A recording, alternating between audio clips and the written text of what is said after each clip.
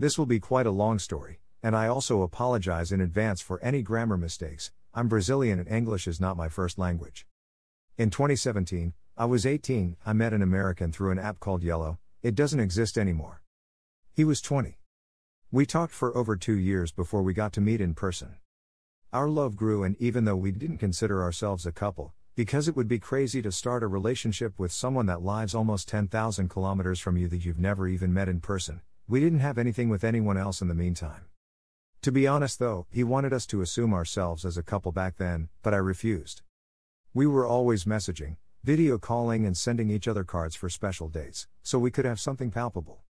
In 2019, I got my very first job, was an internship actually, I didn't make much, but I saved all the money to buy a plane ticket to go there and see him.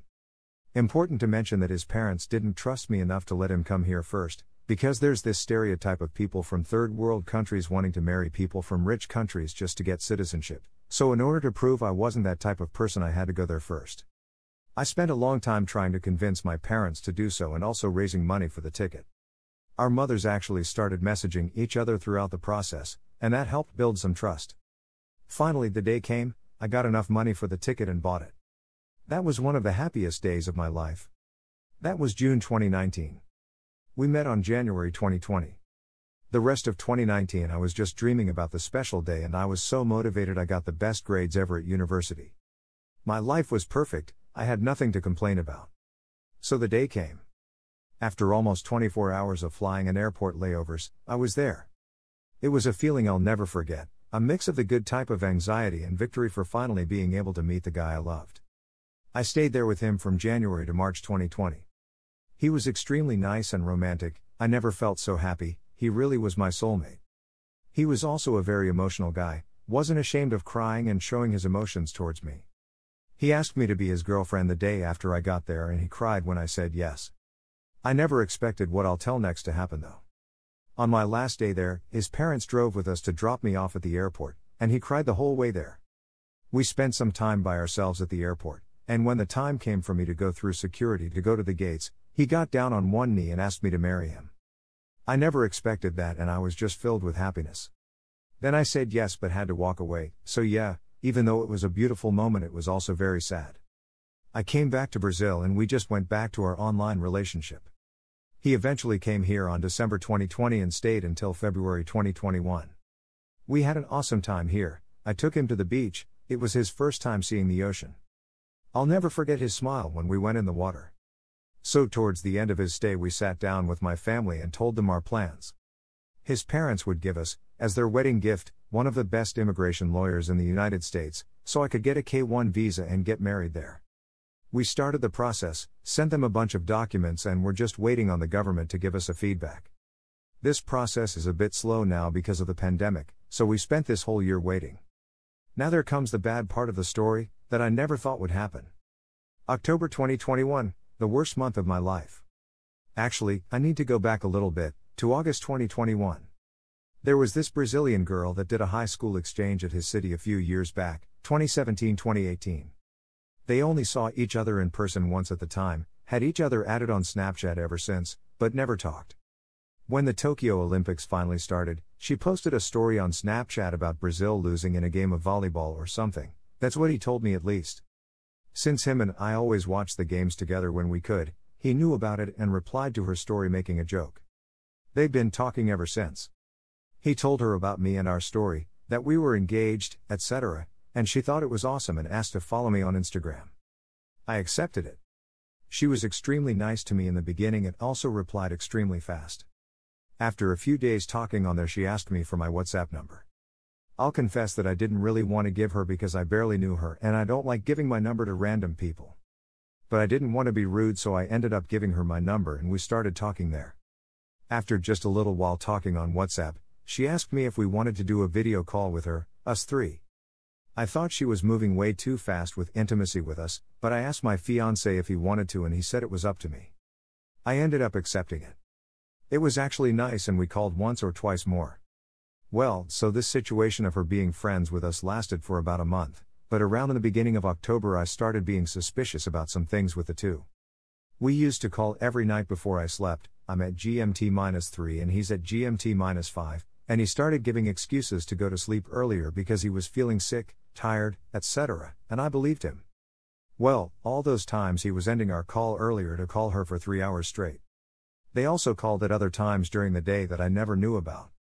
He also put ghost mode on on Snapchat so I couldn't see when he was there talking to her, and he was always saying it was a glitch. I only believe that because Snapchat really is a very glitchy app, but none of the times I asked it was an actual glitch. He admitted everything after. They were flirting, sexting, and everything, and at the time it was just two months after they started talking. I only found out because a few days after I started getting suspicious, I messaged him asking if she had ever flirted with him. He said yes, and I freaked out. I also found out later on that the moment I sent him that message, they were on a call, and he told her so she was pressuring him to tell me the truth. That's the only reason why he said yes. Then, as I saw he wasn't replying to my messages, I called him and obviously interrupted their call. He answered. This was a long call, I told him everything I had been suspicious about and he confirmed every single thing. Then, at night, we called again. Our longest video call ever. 9 hours and 37 minutes straight. I've been so bad lately that I can't remember everything, but how it went was basically me telling him all my feelings, how I would do everything over and over again to have the same love and happiness feeling as I did when I went there, how I would sacrifice everything, how many times I would need to, just to feel that way again. Then also about our dreams of having a family and everything, how he destroyed everything within a few days. I've seen him cry lots in the past, but nothing like this night. He was bawling his eyes out. The call lasted all night. It ended at around 7:30 a.m. and I slept until 8:30 a.m. He slept longer than I did. When he woke up, he sent me a long message apologizing, saying how bad he felt and begged for my forgiveness. Yes, I know, I'm stupid, but I was going to forgive him. He was telling me that anything I wanted him to do to gain my trust back, to let him know. I told him to block her in all social medias. He did. He sent me screenshots of everything. The long call happened from a Friday night through a Saturday morning.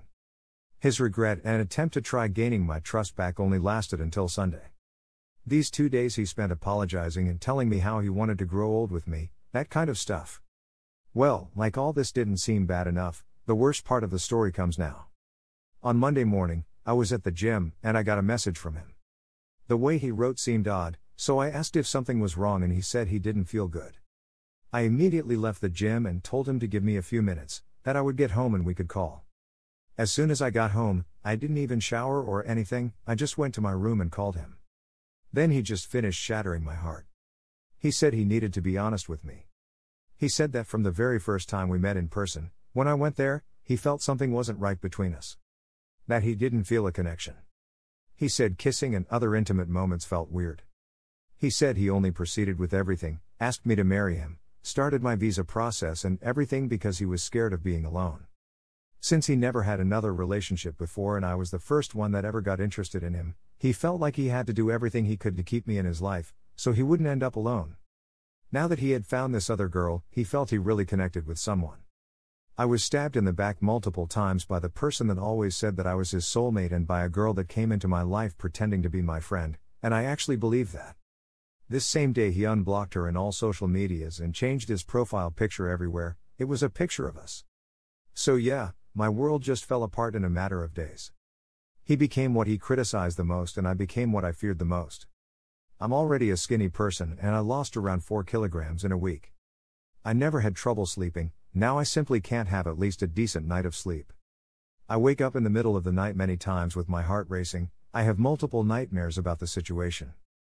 I even had a few panic attacks. I don't have energy to do anything. I'm on my last semester of college and I can't do anything. I can't eat, I've thrown up multiple times, and just seeing food makes me nauseous. I honestly rather be dead than have all these feelings. Less than a month ago, I was the happiest person ever, I had something to look forward to, I had someone in my life that I thought that loved me. Turned out it was just a huge lie. No matter how much I write about this, how much detail I put into everything, I won't be able to describe my sadness and emptiness. I would wish no one this feeling, not even them.